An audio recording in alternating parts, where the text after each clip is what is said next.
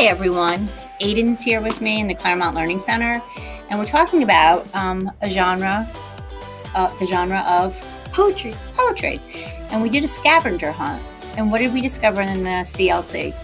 We discovered that there's a new system um, to track books. Yeah, It's by um, uh, code numbers. yeah, like like call numbers, yeah. And we like the Dewey Ses- Dewey Decimal System, and we actually did a scavenger Yeah. hunt, right? And we found you discovered a genre you haven't been reading much of. What was that? It was poetry. So, and the call number is um, 811. Yeah, eight one one or eight eleven Silverstein, and that was the one that you found, right? Shel Yeah. Silverstein. And can you talk a little bit? Because I know that um, in eight eleven poetry we have all of these books here, and they're amazing. But a lot of people haven't been taking them out, so we're trying to like Yeah. trying to sell them. We're trying to get Yeah. people to take them out. So. You took Where the Sidewalk Ends Out, which I shared with you, is one of my favorite books from when I was a kid. Yeah. And um, what did you really like about it?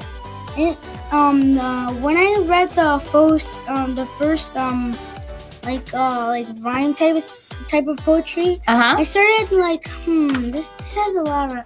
I'm interested in this, so then I kept reading. Yeah. It just, it's you just think you need to keep reading. You need to know all the all the um, everything on the book. You need Mhm. to read it all.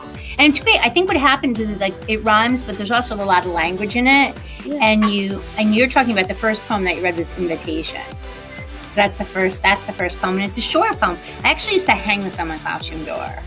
Like if you're a dreamer, come in. If you're a dreamer, a wisher, I used to always hang this on my door because it ends with "Come in, come in." That is so good. Isn't it so good? And it makes you want to read more and more. And the great thing about poetry is that sometimes they're short poems and sometimes they're long poems. Shel Silverstein has a wonderful sense of humor. There is a yes, that is very true.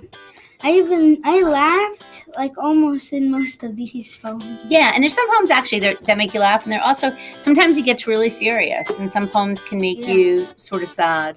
So Yeah. I think everyone should check out call number books 811 in Mhm. the poetry section at the Claremont Learning Center. What do you think? that would be really good. That would be really great. Hey, high five. Yeah. Thanks.